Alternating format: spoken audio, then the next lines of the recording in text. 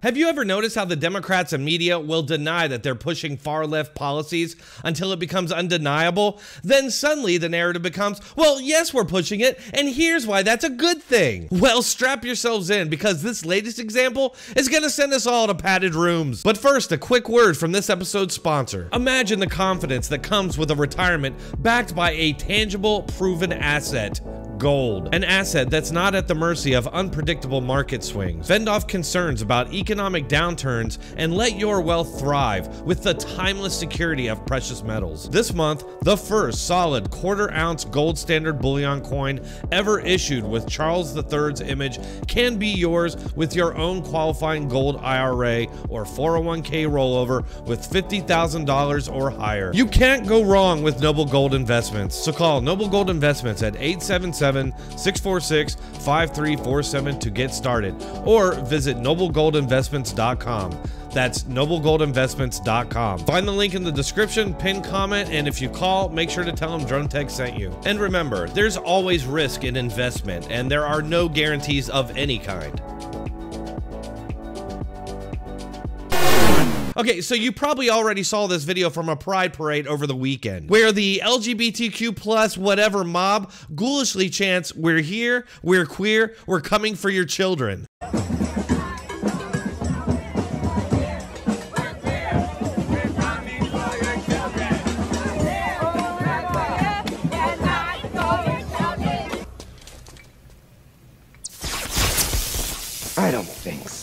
Is it just me, or are these people becoming more brazen as they perceive the culture is with them and against us? I can think of maybe one other example of this, being the Gay Man's Choir, which literally sung a song about coming for your kids.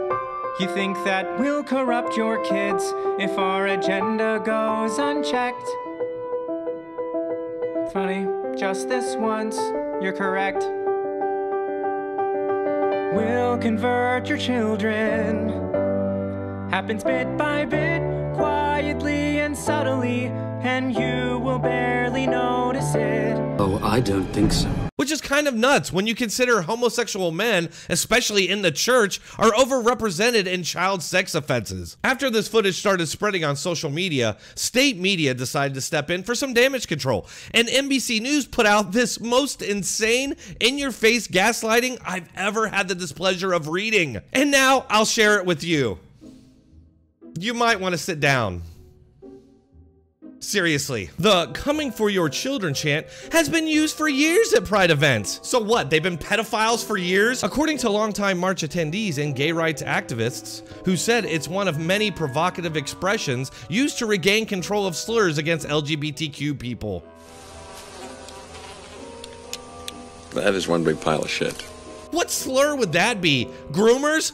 Well, when you say you're coming from the children, it's not really an argument against it. I wonder if they consider cis a slur, or calling us all white supremacists a slur. I guess it's probably different when they do it. But yeah, it's no big deal. It's just a provocative expression, and they've been doing it for years. Gee, I wonder if right-wingers are allowed any provocative expressions.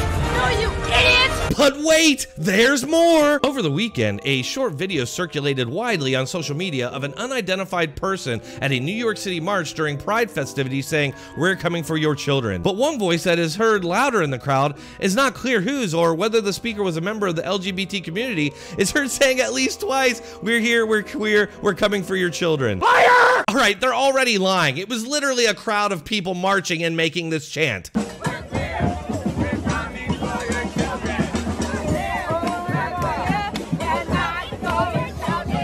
To Brian Griffin, the original organizer of the DNC Drag March, if that's the worst they've heard, it's only because he wasn't there this year. I am Jack's complete lack of surprise. Griffin said he chanted obscene things in the past like kill, kill, kill, we're coming to kill the mayor, and joked about pubic hair and sex toys during marches. People at Drag March regularly sing God is a lesbian. It's all just words, Griffin said. It's all presented to fulfill their worst stereotypes of us.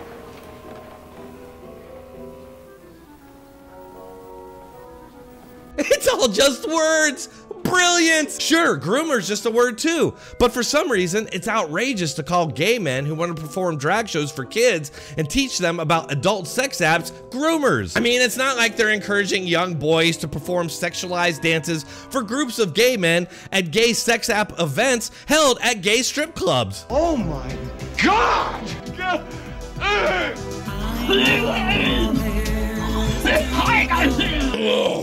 Meanwhile, they can demonize you with all the labels that they choose. All right, folks, I gotta go check myself into the loony bin, but if you enjoyed this, please hit that like button, share, subscribe, and make sure to leave a comment to vent some of those frustrations I know you're all having right now.